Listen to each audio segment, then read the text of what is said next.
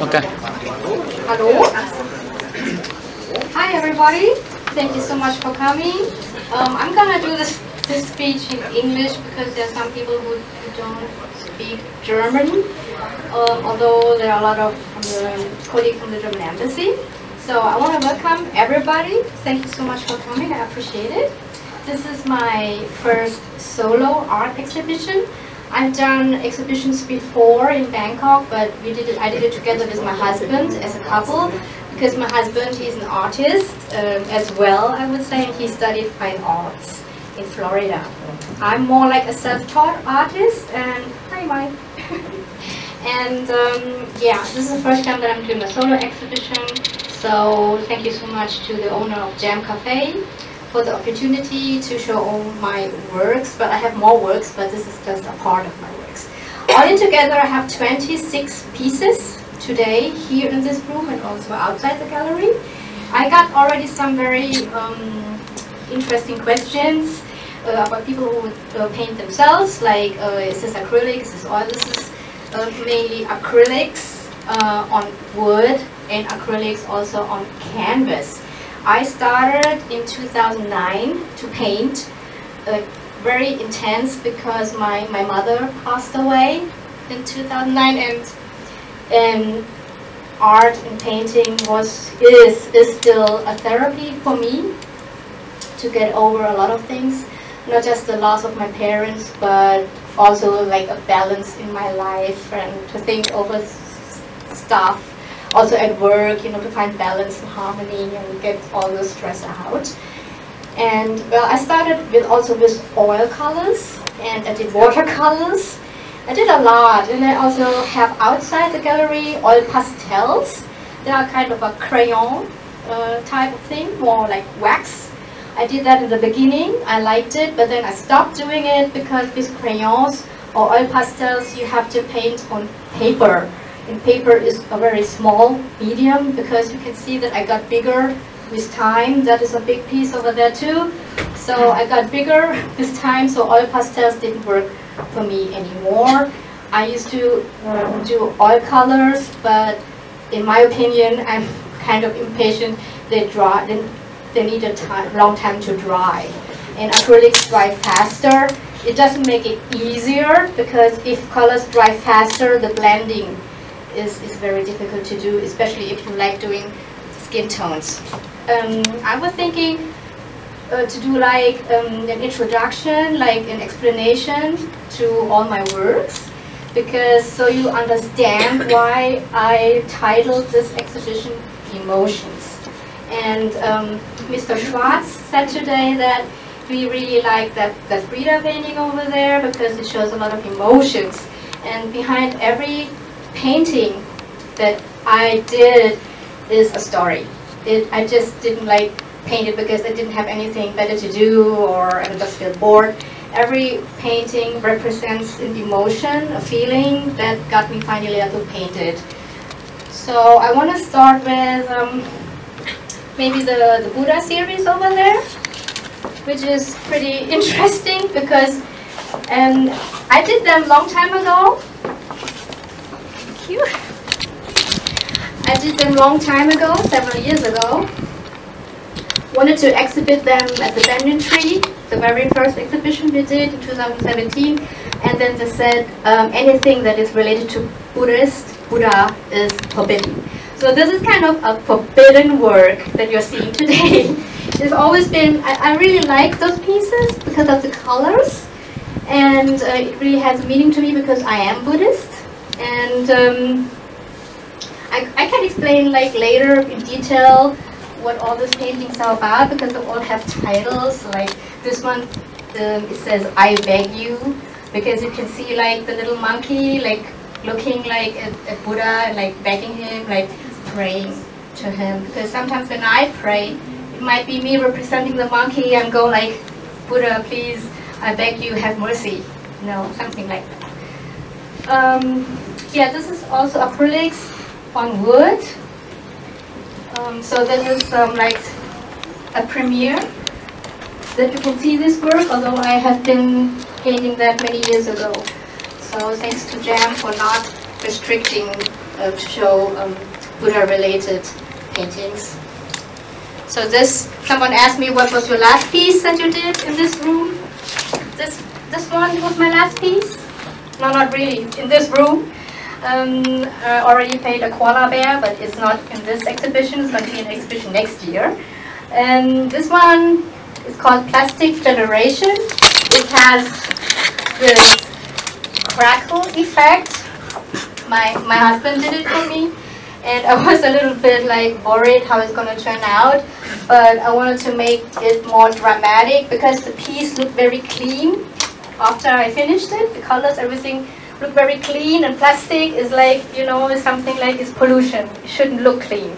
It should look disturbing. And that's why we did the crackle effect just on this piece. So you can see that it has a structure. And my husband helped me with, with the glossing to make it look like that. Um, I think at the embassy we're trying to do a good job um, to like um, separate the, the trash and the plastic and to help the environment a little bit. What we can do. So I'm gonna step to this piece because this piece came before this piece. So this one was inspired by the um, forest fire of the Amazon rainforest that happened last year and I was I was terribly sad about all the animals and that died there so I feel so touched that I had to paint this and it's called Ex Existence um, because without the rainforest, without forests at all um, I think that we cannot exist because they provide us with the oxygen. And it was it was really something that really got into me. And it has kind of a little bit of um, Frida Kahlo influence because she liked to draw like hearts and things in her in her paintings and I did this not to copy her but I felt that this is something that really touched my heart and I felt so sad about what happened back then. And after I painted this I painted this one. This one is called Drowning. And it's I, I painted this with the emotion that I felt kind of helpless about what happens in the world that I don't really know how to help, what can I do? You look at the news, you feel desperate, you feel like, oh my god, all this is happening around you and you just feel like drowning. You just feel like there's not much I can do about it.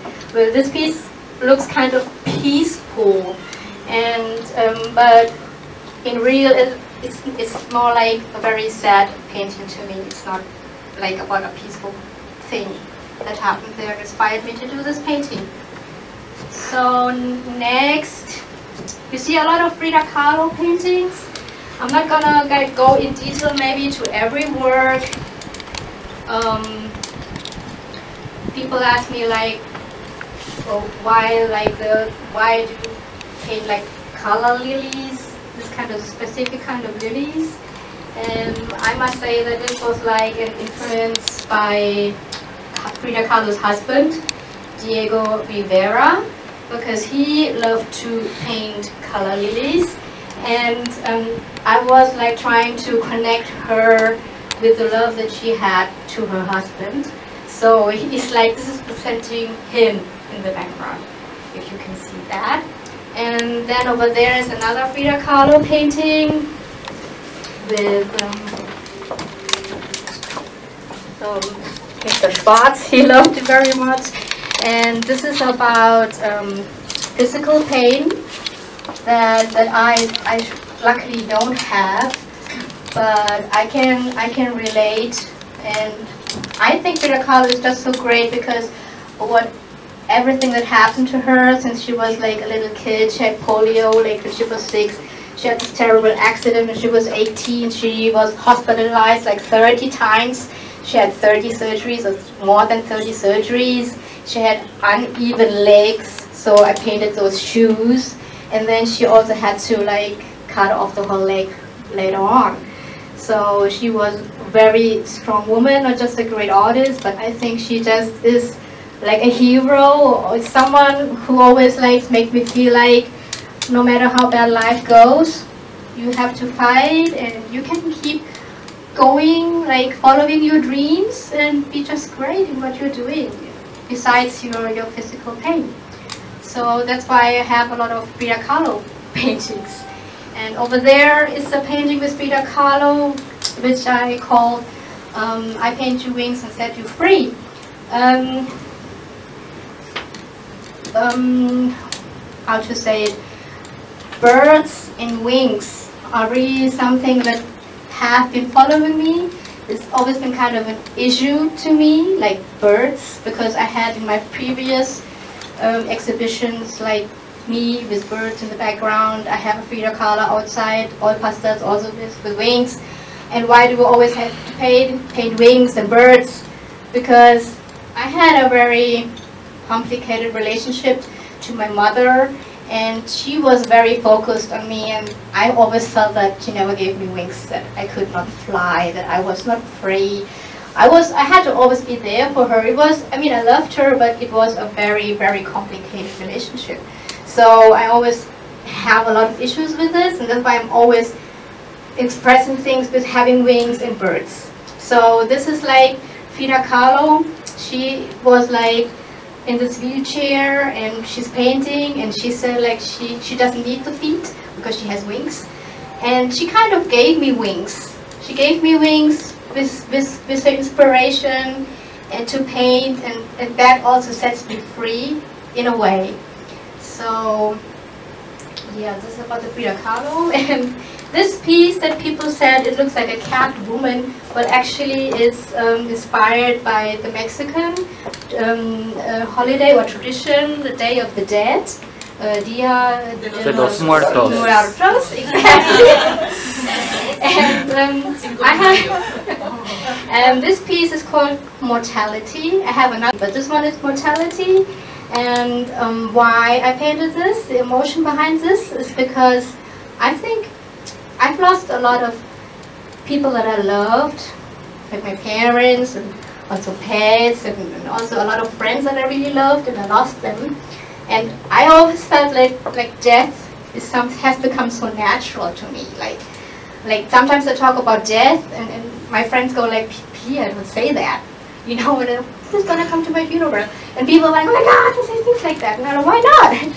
I think it's very natural to talk about death because everybody is going to die one day. So I think because I've passed so many losses and I've been to so many funerals from colleagues at the embassy who retired and passed away. So death has become like something very normal natural to me. So I wanted to paint this colorful, it looks happy, like not to be afraid about death because death is something that's normal awaits us, all of us. So this is what the painting is about. yeah, it's true. That's how it is. So we have luckier, happier pieces over there for the kids. And um, Oh, I think you should go through I the other side. way, sorry.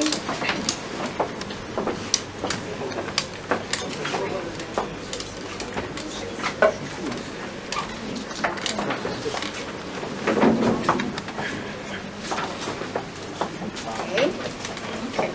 Hallo? Where's this is Um, Lisa สวัสดีค่ะอ่าขอบคุณค่ะมานั้นเลย อ่ะอะไรนะเดี๋ยวนะ and this, uh, these are like happier pieces and um, it's like um, children and pet series that I did in 2016 they were already displayed at the banyan tree at, at our first exhibition in Bangkok and um, I don't know, there's not so much of a story behind them, besides that I'm a, a great animal lover, and people always mistake me because we have cats, that I'm a cat person, but I am a dogs person, I'm a dog person.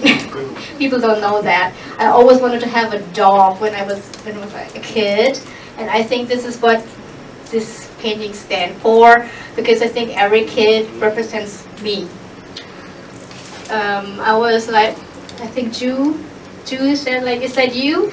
And I was like, no, that's not me. But then I was looking at her and I was like, yeah, it could be me because because I had a dress like that. My mom did it for me, so it could be me, yeah. And this is actually Mammy. This is my dog um, that I've put in there. He passed away. And my husband said, "Oh, that's very clever that you that you put Mammy in that painting." So this is more to express like like childhood dreams, like that I always wanted to have a dog, I always wanted to have a pet. But when we lived in Germany, we were in a little, not little, but it was an apartment, and my my my, my parents never allowed me to have dogs because they said this would be punishment for the dog to, to have in an apartment. Then we got we then we got a cat. That's why we got a cat. And um, hello. That's why we got a cat. So then um, I also um, switched to also like cats because in the past people have prejudice this prejudice that people think that, that cats are like you know very selfish and they're not like dogs but but if you really get to know them I think it's like every person and you say oh French people are like that or you know Spanish people are like that. But if you really get to know them they everybody they're all kind of the same and they all kind of have something you know so I started to really love cats after that you know by having forced to get a cat because we couldn't get get a dog. Okay. Peter asked me what does that mean private collection? Private collection means not for sale. Everything here is for sale so if you want to buy thank you and this is not for sale. Why? I hope I'm not crying but this is Kitty. And everybody is my close friend. No, oh god I hope don't, I hope don't cry. Kitty meant so much to us to Giuliano and to me. I've never seen Giuliano cry. Never seen him cry before. But I've seen him cry the day that she passed away. And um, my, my friend, uh, Dr. Malika, she wanted to know, um, because she's a psychologist, so she goes deep. she goes deep. She says, I don't, I don't, I don't really understand you lying on the like the dead ground because this is like it's called drought, and then the ivy because ivy is a plant that stands for life, and I think this is one of my masterpieces because I'm trying to use symbolism to um, express my feelings, how I felt when she died. This this picture actually really exists. That I'm laying there on the bed with Kitty because Kitty was always very very snuggly. She was always snuggling with me like like a dog. And she was like a dog. Maybe that's why I loved her so much. And um, drawn. Well, yeah. I explained to Mrs. Malaka that that the dead dry ground is is me. That's how I feel. I felt when I lost her that my life is over. It's like I, I really I didn't want to exist. No. And the ivy is a plant which stands for life, which is true. Um, and the ivy here, as you can see, combines me and Kitty. So Kitty is always gonna be with me, and ivy is a plant which is really clingy, you know. So it's always gonna stick together. And ivy is also a plant that stands for strength. Uh, it, it means ivy can exist or grow even under the worst conditions. And that's how I felt. I felt so bad. I really, I really wanted to die. I felt like that. But I had to go on. I have to go on. And that is why I chose Ivy to express the strength that I had to put on after she left. Yeah, this one is called also private collection, also not for sale. I could not put a price because I cannot sell these. Um, because actually when I painted them I was also crying. So this is why this exhibition is called Emotions because I also let out my feelings while I'm painting. And this this painting is called Thorns of Green. Actually this came first, then this one. And but it took, it took forever for me to finish that one. I was just painting little by little because my paint was like was like overwhelming. And this one is Songs of Grief and also using roses or flowers as um, a symbol thing to express something because roses stand for love. Everybody knows that. And but uh, roses have thorns, and um, that's something what love is about. Love is not always beautiful. Love can also be very painful, especially if you if you lose someone that you love so much. So you see also the blood, you know, it's dramatic and all the thorns, uh, you know, going through my skin. So this is also like expressing all the pain that I felt when, when we lost her. And my husband said, you really want to exhibit this? But they are not for sale, are they? And I said, no, no, never. I'm not to sell these. So I think I'm done with explaining my artwork so far. I have more to say about every artwork. Oh, I have pieces outside, sorry. I have pieces outside that I haven't explained yet. They're made in oil pastels on paper. These are my earlier works. As I said, I stopped using oil pastels or watercolors later because the medium is just paper that's too small for me. And um, I have like, like series of very strong women because I believe that women are just a stronger gender.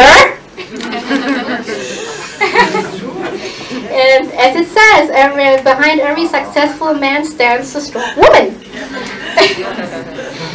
yes. And um, yeah, well, that's why I have like um, people, women who inspired, inspired me, or I think that they were really uh, putting a milestone there for women to, to, like the power and the strength of what they can achieve.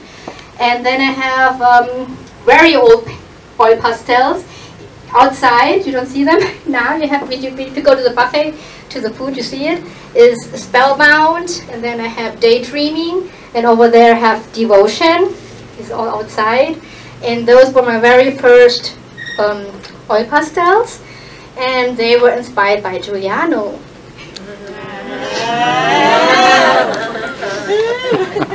that were like romantic times when you first met and that's why the spellbound and the daydreaming. Oh, all I just think about. So those pieces are really also based on emotions, and that's why this exhibition is called Emotions. So if you do have further questions, you can address me later. But so on, I think uh, I have just shortly explained um, the story about every painting. Thank you so much.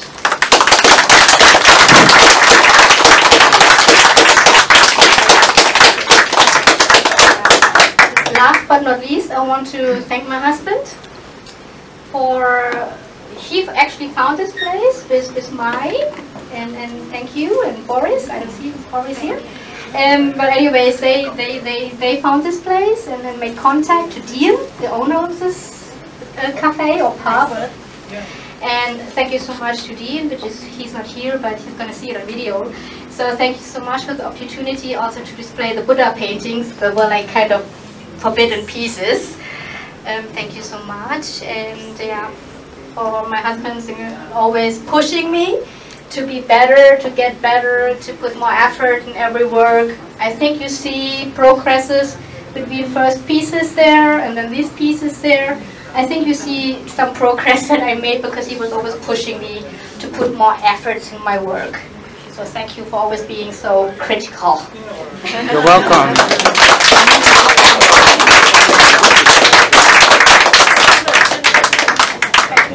down outside. We also have beer, wine, and soft drinks, so please enjoy.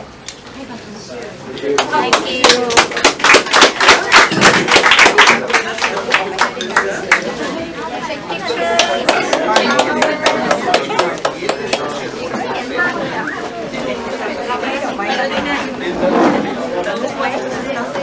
you.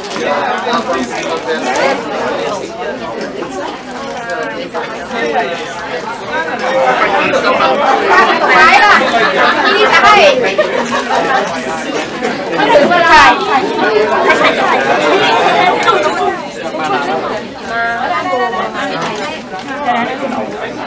คิดที่ได้แหละแต่ได้เหมือนคิาคิดที่เรารองให้เลยนะคะต้องนี้นะคะ กันกันดูกันตรงนี้ดูในทีซี sorry ดูในทีซี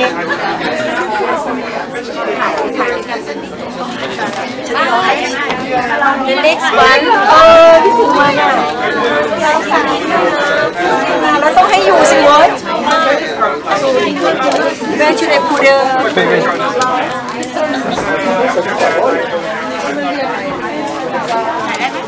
ถ่า Trời ơi, xong hết nước Trời tươi lắm Tươi lắm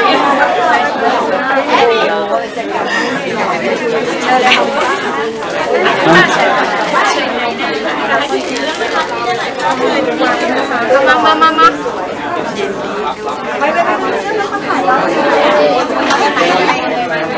Chị Nút. I should take her picture. พี่ใส่ถุงมือเห็นไหมล่ะน่ะเห็นแล้วเราจะดูร้องไห้ตายร้องไห้เป็นขี้เอาใหม่ one more time เชิญค่ะโอเคเดี๋ยวเดี๋ยวต้องมีแสบตาเลยค่ะพี่ถ่ายให้ด้วยคุณกันถ่ายไม่ได้ ถ่ายหนูถ่ายไปสองรูปแล้วเ Gracias.